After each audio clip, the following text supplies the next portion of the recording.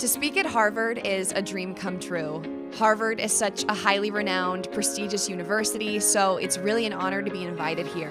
These female student athletes are working so hard to not only have the conversation around body image, but to change that conversation, and I'm grateful to be a part of it.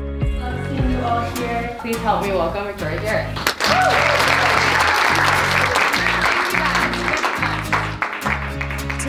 Want to share a very honest and open side of me with you all, hopefully making you feel comforted in your own body image struggles, but most of all, encouraging all of you to just talk about what you're going through and know that, you know, so many of us are struggling with that same belief that we need to be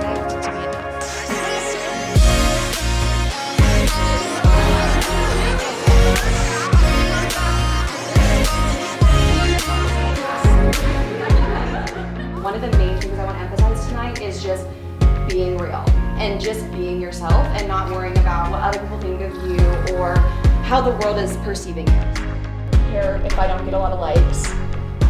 I don't care if this person thinks this about me because I know who I am. I know I try really hard.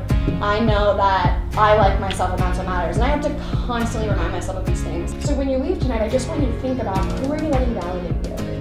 Who are you letting give you your permission